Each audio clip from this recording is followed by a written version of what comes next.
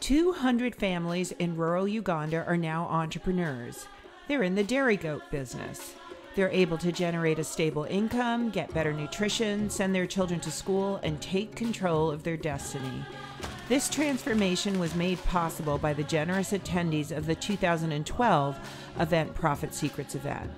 Together, these Sassies helped us raise nearly $112,000 in funding for our Project Grace microenterprise program. Now we're rolling up our sleeves and starting to work in Senegal, West Africa. The country of Senegal in West Africa is a land rich in beauty, art, music, and tradition.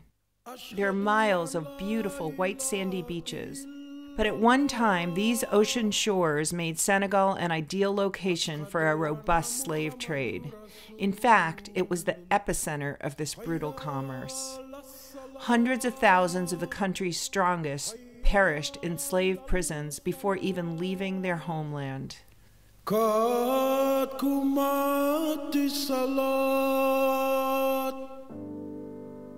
Today, Senegal is a peaceful democratic country, but one that has been plagued by severe poverty. 90% of the population are farmers, dependent on a rainy season that takes place over the summer. With such a short rainy season and the lack of irrigation, food often runs out the following spring, a time unfortunately known as the hunger season. Last year, the rainy season started late and ended early, making this a perilous year for starvation. The World Bank and many NGOs are braced for potential famine in Senegal.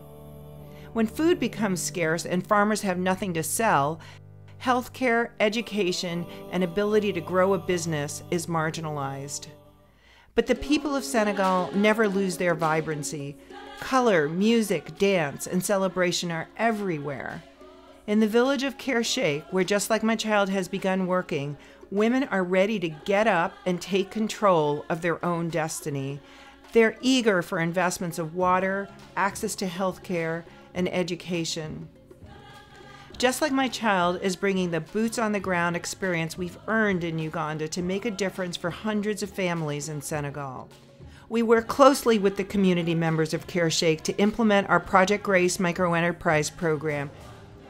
A $50,000 investment will pave the way for hundreds of women to become entrepreneurs by providing an irrigation system that allows them to raise and sell crops. This, in turn, will help them to pay for their children's school fees, and the investment will also provide funding for women to receive family planning and prenatal care.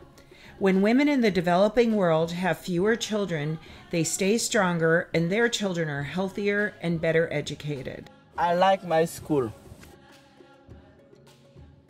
And that makes for a better future for all of us.